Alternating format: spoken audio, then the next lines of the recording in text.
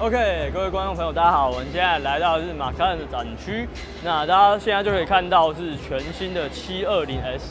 720S 大家都知道，当然就是接替了呃650、675的这个旗舰的现任旗舰的这一个位置。当然除了 P1 以下，对 P1 以下的现任旗舰位置。那大家可以看到，就是说它车头。已经最明显可以看到车灯的部分，它跟以前那种那马克恩厂徽的那个形状的头灯已经不一样了。它现在改用是内嵌的设计，而且不止如此啊！大家其实除了看到这个 LED 灯条跟里面的 LED 灯具之外呢，它这个下面的孔洞其实也是可以让气流进去，让车辆进行散热。那当然下面的话就是整个碳纤维的一个气坝，这些。孔洞当然就是针对无论是下压力啊、散热啊这些的等等的功能。然后，那我们准备看到侧面，侧面其实是这一台七二零非常大的一个重点之一。为什么呢？因为大家如果对六五零这些车子有印象的话，大家其实会知道，就是说它其实在侧侧边，也就是车门的后方的部分，它那边都会有一个。进气的一个口，但是七二零不一样，它把车身整个简洁化了，所以它侧后叶子板那一个地方它是没有进气口的设定。那那它进气怎么办呢？很简单，它改到了这边，它是在门板这个内侧，大家可以看到这整个弧弧线的进行，然后下来，它直接从这边进来，然后到后面的引擎。那后面的引擎呢，它已经不是。马卡伦之前惯用的三点八升，它已经把排气量拉到了四点零升，所以可以让这台车动力达到了七百二十匹，非常惊人的水准。而且不仅如此啊，这台车我觉得非常厉害的是说，因为它七百二十匹马力，它还有七十八点五公斤米的这个这么强的动力，它只有输出到它的后轮而已。它不是一台四驱车，可是它的零到一百加速竟然可以压在二点九秒。我认为这个是后驱车非常非常强的一个表现了。那当然，在它后面的尾翼的部分呢，大家也可以看到，它整个是曲面的设定。然后尾灯也跟之前的像六五零 P One 也都有略微的不同。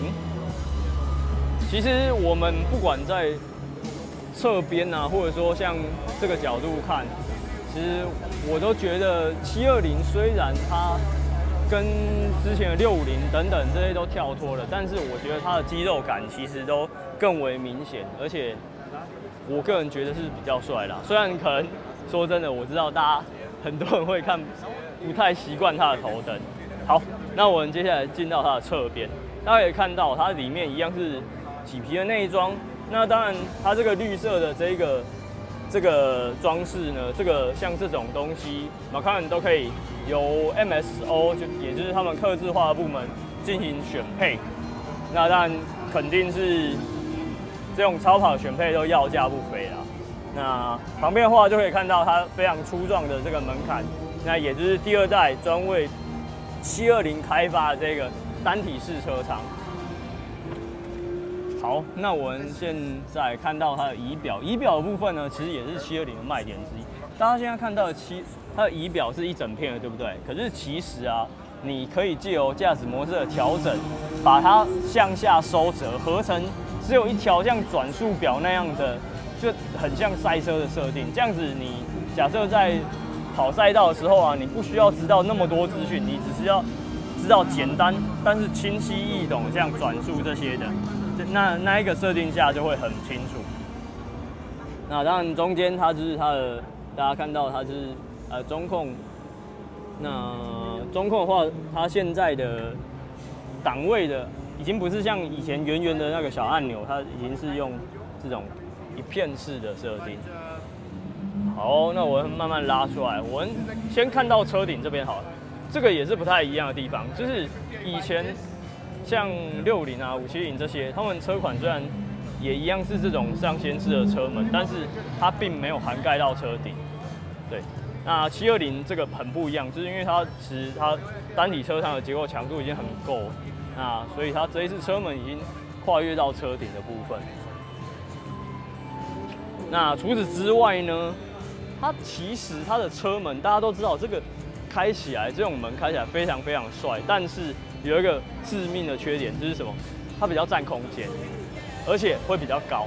那这样子呢？假设啦，我知道买这台车的，你不会停在小小的车位，你，但是假设好了，你家里已经有很多辆超跑，但是你空间有限的时候啊，这个车门它其实已经叫六五零来说，它更向内缩二十米米特，所以你在停车的时候，你就把车门打开，你就比较不用怕去 K 到旁边的车子。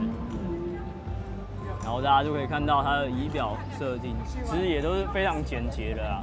这个已经是显示比较多资讯的的一个界面了，可是其实还是很简洁。那然后还有包含像它的方向盘都是碳纤维的啊，然后还有像它的 像马克，它还有一个还有一个蛮特别的地方，就是你们可以看到它的这个拨杆部分，他们都做的这样细细扁扁的。这个也对于轻量化有一点点的帮助啦，对啊，但是也是蛮好玩的。他们近年的设计都是这样，然后大家就可以看到它的呃门的车门的顶杆，然后还有碳纤维的一个车辆结构。啊，它的前轮其实也露出了一半。对，好，不知道大家喜不喜欢这台呢？其实我个人是非常喜欢的，因为看到像这一部分的肌肉感，其实是非常够，而且非常简洁，我真的蛮喜欢这台车的。那当然，我们之后肯定会有机会在台湾看到这台车，只是是什么时候呢？我们当然就看到之后喽。好，那我们准备要往下个车厂的展区迈进了。那先跟大家说声拜拜。